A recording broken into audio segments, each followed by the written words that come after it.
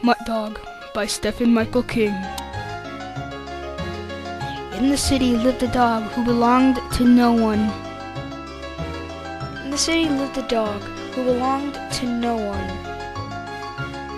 He had to be brave and fast and smart just to survive.